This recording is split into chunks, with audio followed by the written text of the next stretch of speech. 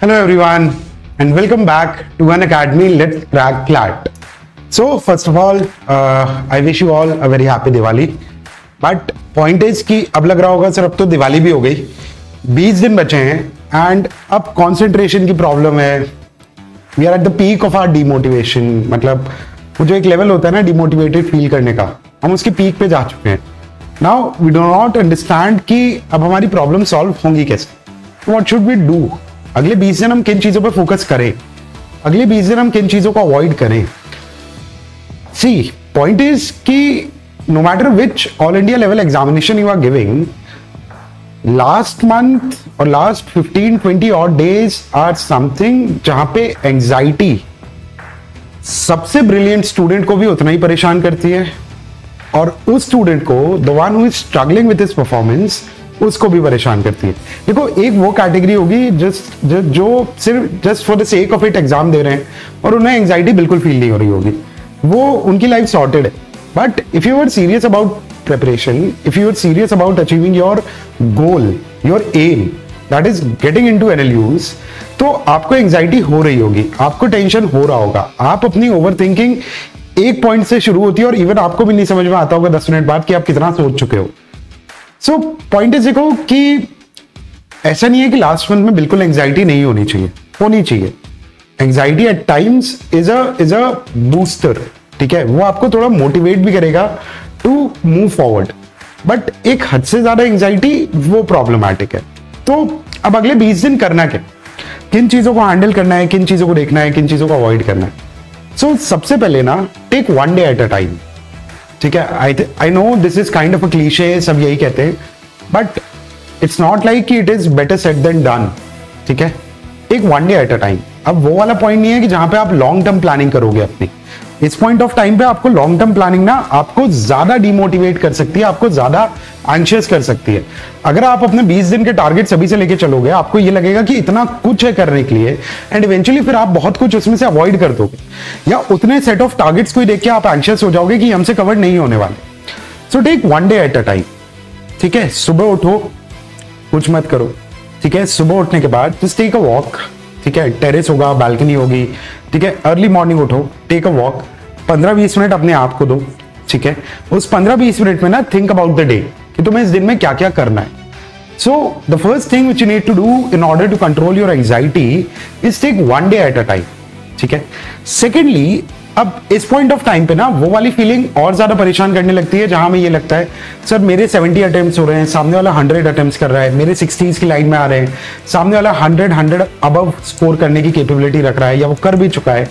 और आप ये सोचो कि नेक्स्ट मॉक में आपके 70 अटेम्प्ट से 90 अटेम्प्ट चले चले जाएँ, और 60 मार्क्स में से आप डायरेक्टली 70 75 पे चले आओ तो देखो ये थोड़ा सा इंपॉसिबल है, ठीक है? जैसे मैंने पहली चीज़ कही ना take one day at a time similarly take one mock at a time ठीक है? उस मॉक में अब आपको करना क्या है? Try to outperform your own self वो सबसे इजी चीज़ होती है, ठीक है? आप अपने ही लास्ट मॉक में जो भी आपने स्कोर करा था ना, आप कोशिश करो उसमें से आप दो नंबर ज़्यादा लेकर आओ। लास्ट मॉक में अगर आपने 70 अटेम्प्ट किए थे तो कोशिश करो आप इस मॉक में 75 अटेम्प्ट करो।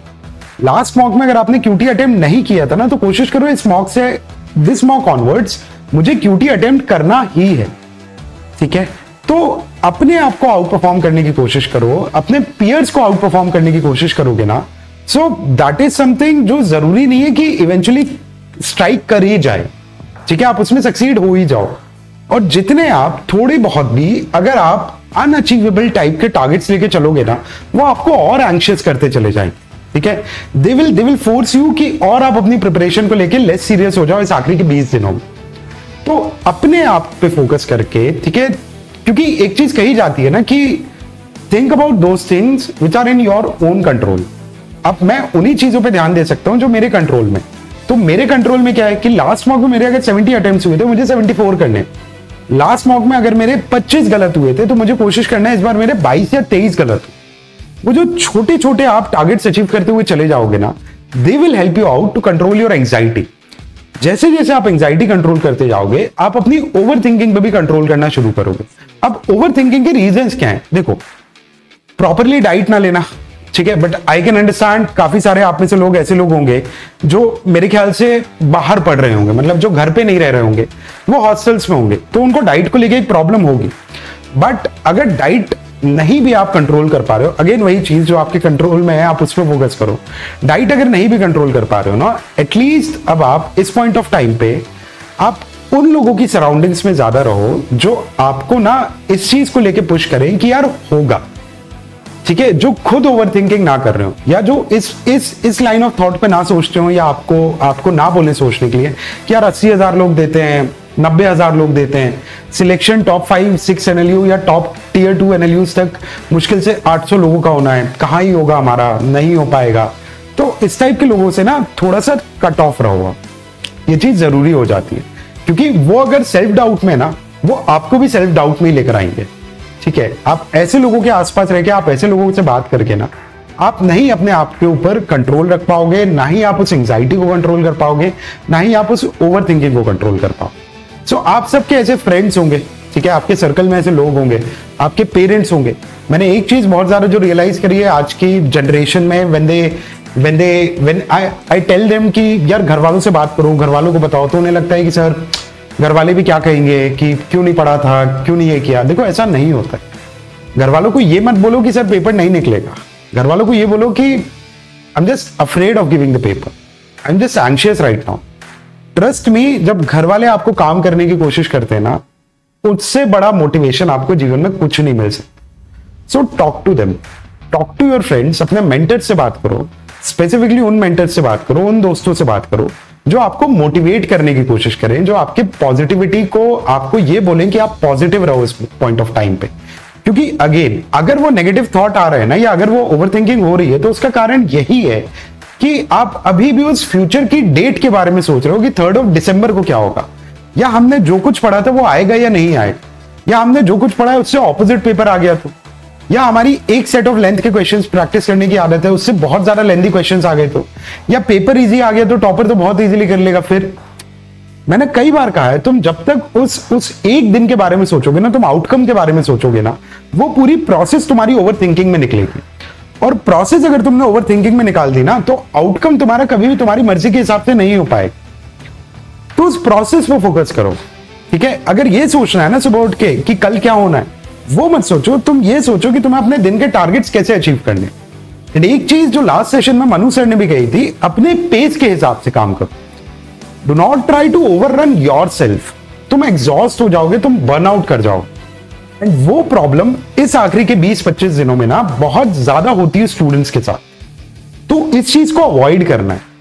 एंड लास्टली यार देखो पॉइंट ये है ना कि जो परफॉर्मेंस बेस्ड एंजाइटी होती है, वो सबके साथ होती है। ठीक है? ऐसा नहीं है कि हम लोगों के टाइम पे हमें परफॉर्मेंस बेस्ड एंजाइटी नहीं होती थी। ऐसा नहीं है कि जो बाकी के पेपर्स दे रहे हैं, उन लोगों के लिए परफॉर्मेंस बेस्ड एंजाइटी नहीं होती है।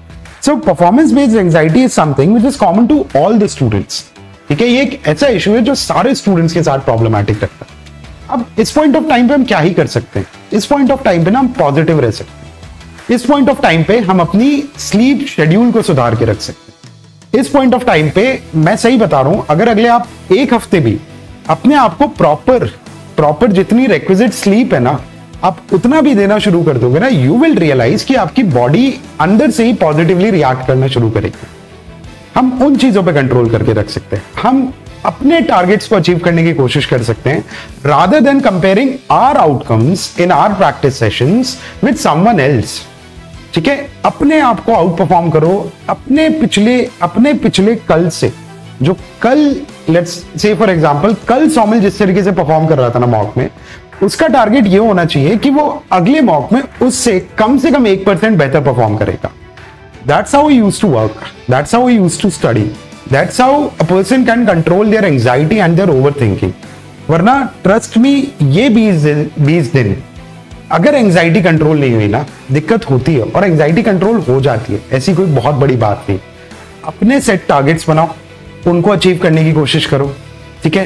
Do not do not try to overrun someone in your peer who is way ahead of you क्योंकि वो आपको ना नेगेटिव माइंडसेट की तरफ़ लेकर जाए। ठीक? And lastly try to surround yourself with दोस्त जो आपको मोटिवेट करें। अब पॉइंट ये है कि किसी पॉइंट ऑफ़ टाइम पे तुम्हें पढ़ते हुए लगेगा कि सर कॉन्सेंट्रेशन निल हो चुका है। समझ में नहीं आ रहा। We are doing just kind of an absent minded reading वो मत करो। पचास मिनट करो। दस मिनट ब्रेक लो, फिर पचास मिनट बैठो, फिर दस मिनट ब्रेक लो। मॉक ले रहे हो ना? मॉक अगर सॉल्व कर रहे हो तो 10-15 सेकंड के लिए ना बीच में ब्रेक ले लिया करो। Try to give rest to your eyes as well मैंने कई बच्चों से पूछा कि बेटा जब मॉक करते हो तो खुद को 10-15 सेकंड का आराम देते हो? नहीं सर मैंने कहा, और एबसेंट माइंडेड रीडिंग में कितना टाइम वेस्ट हुआ होगा पूरे मॉक में सर चार से पाँच मिनट. अगर वो 10-15 मिनट तुमने अपनी आईज को रेस्ट दे दिया होता ना, कुछ नहीं करना होता यार ऐसे ऐसे करके आँखों पे मल लो। ठीक है? पानी ले लो। टेक अ डीप ब्रेथ पढ़ रहे हो जिस पॉइंट ऑफ़ टाइम पे अगर कॉन्सेंट्रेशन नहीं लग रहा है, ले लो पाँच मिनट का break but that should not become an excuse वो ना एस्केप मैकेनिज्म नहीं बन जाना चाहिए कि दस मिनट बैठे पढ़ने और पंद्रह मिनट का ब्रेक ले लें। ठीक है? घर में वॉक कर लिया, पानी पी लिया। ठीक है? अगर नेगेटिव थॉट्स आ रहे हैं so things which you are grateful for Diwali मनाई ना सबने। Trust me you are grateful enough to celebrate Diwali as well specially अगर फैमिली के साथ मनाइए उन चीज़ों को याद करो। ठीक है? इमेजिन योर कि तुमने जब प्रिपरेशन शुरू करी थी, तुम आखिरी के डी डे अपने आप को कहाँ पे देखना चाह रहे थे? उस चीज़ के बारे में सोचो। That will help you out to keep yourself motivated I can understand कि इस पॉइंट ऑफ़ टाइम पे सबको एंजाइटी फील हो रही होगी, किसी को कम, किसी को ज़्यादा।